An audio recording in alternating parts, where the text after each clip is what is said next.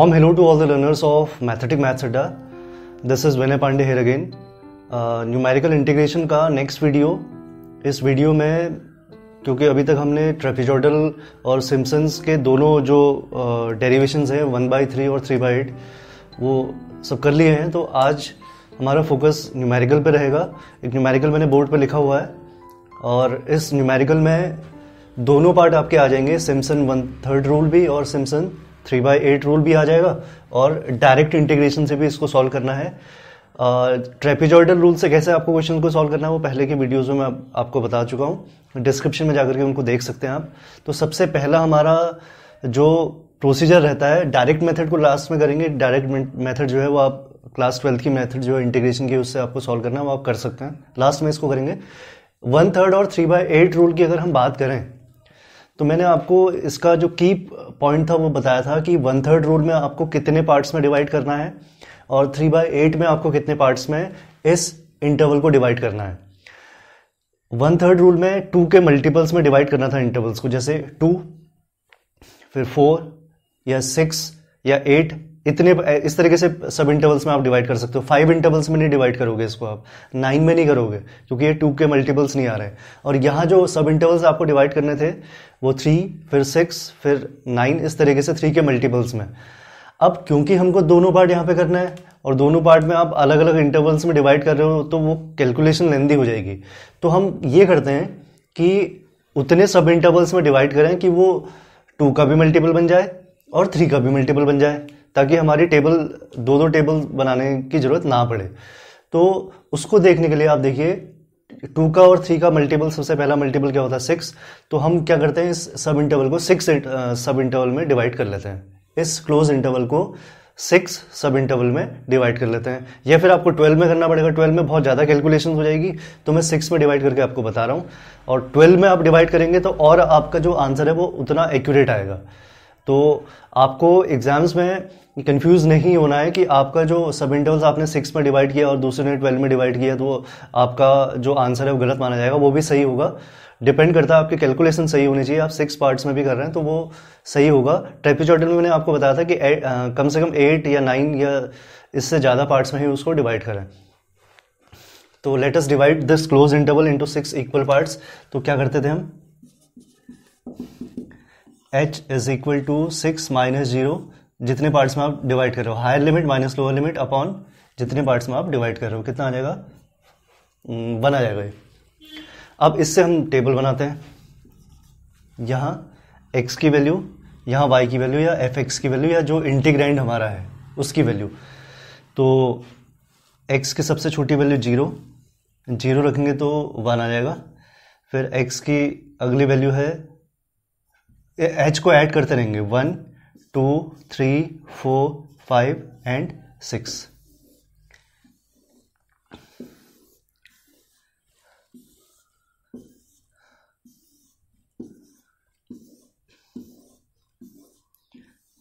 ये आपको वैल्यूज़ निकाल लेनी है। ये वैल्यूज़ क्योंकि डायरेक्टली यहाँ निकली हुई है तो मैं डायरेक्टली जो सॉल्यूशन है, उससे मैं वैल्यूज़ लिख दे रहा हूँ। ये 0.5 है। अगली वैल्यू 0.3333 फिर 0.25 कैलकुलेटर अलाउड होता है तो आप कैलकुलेटर से इसको कैलकुलेट कर सकते हैं। आपको एक्स की वैल्यूज़ यहाँ रखते रहेंगे फ़ंक्शन में। फिर 0.1 six six seven zero point one four two eight तो ये सारी वैल्यूज़ जो एक्स के करस्पॉन्डिंग एफ़ एक्स की वैल्यूज़ थी, वो सारी वैल्यूज़ मैंने यहाँ पे निकाल दी हैं। अब आते हैं सिम्सन वन थर्ड रूल दूसरा जो पार्ट है using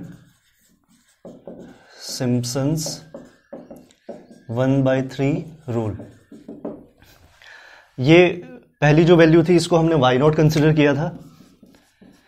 Y one Y two Y three Y four Y five and Y six आपको याद करने के, मैंने सिम्सन वन थर्ड रूल की याद करने की ट्रिक बताई थी एक, कि आप जो वन थर्ड रूल है सिम्सन का, उसमें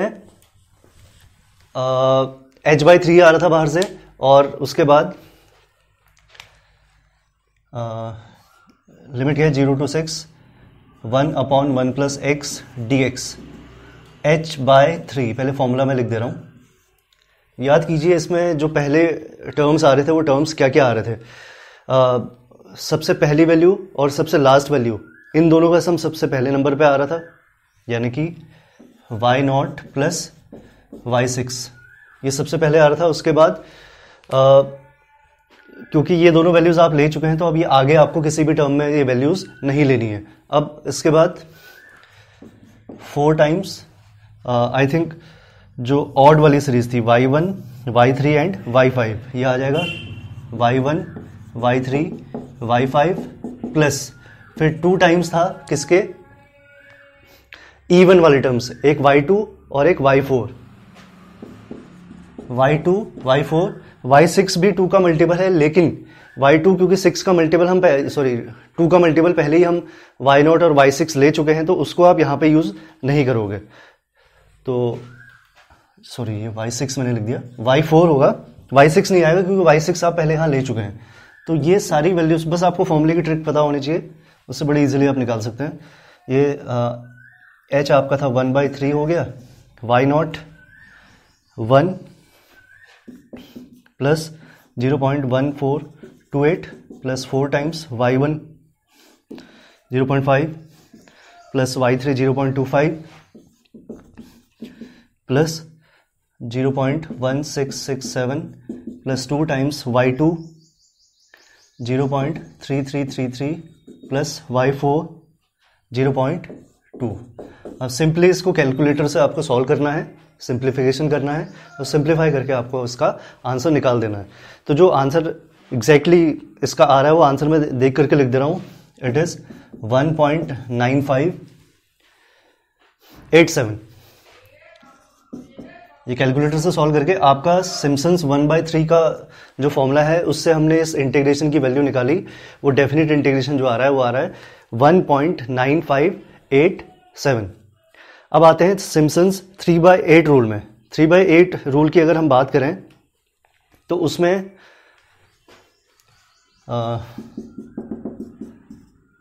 using Simpson's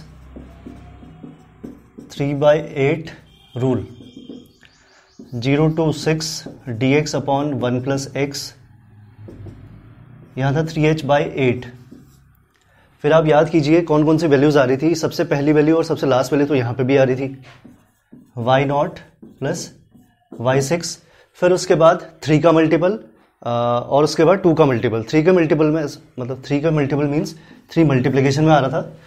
और इसमें जो थ्री के मल्टीपल के अलावा जितने टर्म्स रह रहे थे, क्योंकि ये दोनों तो हम ले चुके पहले अब ये दोनों नहीं आएँगे।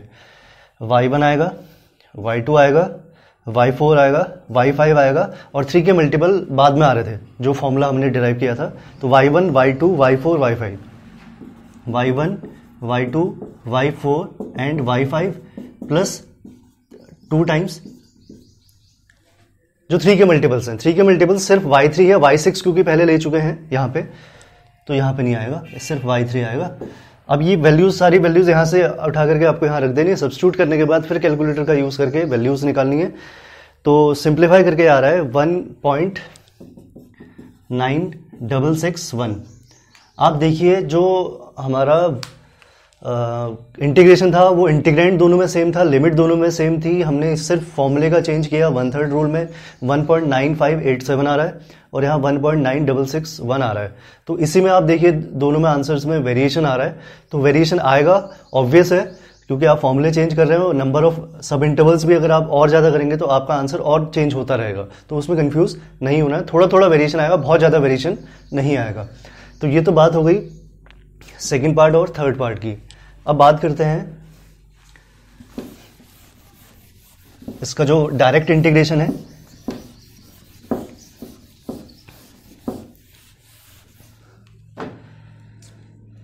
First part direct integration zero to six one upon one plus x d x ये तो इजी है।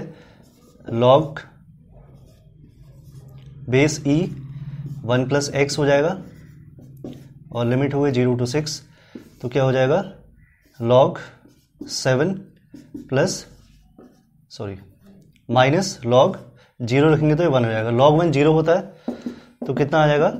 लॉग सेवन बेस ई फिर क्योंकि आपके पास कैलकुलेटर अलाउड होगा तो इसकी वैल्यू आप कैलकुलेटर से कैलकुलेट करें। ये वैल्यू है one point nine four five nine ये आपका डायरेक्ट इंटीग्रेशन यानी कि ये एग्जैक्ट वैल्यू है इस इंटीग्रेशन की। आप देख सकते हैं जो वैल्यूज़ हमारी आ रही हैं, ये वैल्यूज़ जो हैं, वो वैल्यूज़ भी इसी के नियर अबाउट कहीं ना कहीं आपको ये वैल्यूज़ मिलेंगी। अब ऐसा नहीं होगा कि ये वैल्यू 2.5 आपकी आ जाए या 2.6 आ जाए। इतना ज़्यादा वेरिएशन नहीं आएगा। ये आपकी एग्जैक्ट वैल्यू डायरेक्ट इंटीग्रेशन से हमने निकाली। ये सिम्सन वन थर्ड रूल से और ये Simpson three by eight rule से।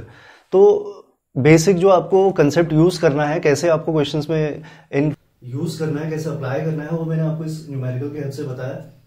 क्योंकि न्यूमेरिकल इतने ज़्यादा टफ नहीं होते हैं इसके। फ़ंक्शन आपको यहाँ पे साइन एक्स भी मिल सकता है। It may be log x e to the power x कुछ भी फ़ंक्शन हो कॉस एक्स हो, जो भी फ़ंक्शन होगा, उसके लिए आप प्रोसीजर यही फॉलो करेंगे और वैल्यूज़ आप कैलकुलेटर से निकालें। एक चीज़ और ध्यान में आपको रखना है कि साइन एक्स में आपको पहले एग्ज़ाम से पहले ये चेक कर लेना है कि मेरा जो कैलकुलेटर है, वो डिग्री में वैल्यूज़ दे रहा है या फिर रेडियन में वैल्यूज़ दे रहा है। तो आप वो बुक से मैच करें। कि साइन 90 डिग्री जो है वो 90 जब आप कैलकुलेट करें तो क्या वो रेडियन की वैल्यूज़ तो नहीं दे रहा है? तो वो आप चेक करके ले जाएँ एग्ज़ाम में, ताकि आपका जो आंसर आए वो गलत ना आए। तो इन क्वेश्चंस को आप सॉल्व करें। ज़्यादा क्वेश्चंस मैं इसलिए नहीं करा रहा हूँ क्योंकि क्वेश्चंस काफ़ी इजी हैं। इस पे बेस्ड फॉर्मुले का डेरिवेशन भी आप प्रिपेयर करें और उसके साथ साथ न्यूमेरिकल्स भी आप प्रैक्टिस करते हैं जो भी प्रॉब्लम आपको आती है वो आप कमेंट में पूछ सकते हैं।